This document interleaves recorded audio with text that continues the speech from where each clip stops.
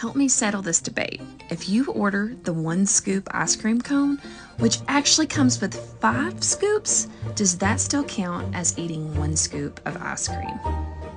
I'm asking for a friend. Help me settle this debate.